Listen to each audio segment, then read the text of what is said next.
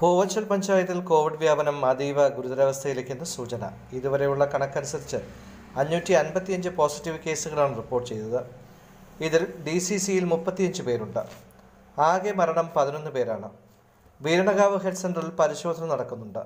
നാളെയും കോവിഡ് പരിശോധനയുണ്ടെന്നും എല്ലാവരും ജാഗ്രത പാലിക്കണമെന്നും ഗവൺമെന്റ് പ്രോട്ടോകോൾ കൃത്യമായി പാലിക്കണമെന്നും പഞ്ചായത്ത് പ്രസിഡന്റ് സനൽകുമാർ പറഞ്ഞു.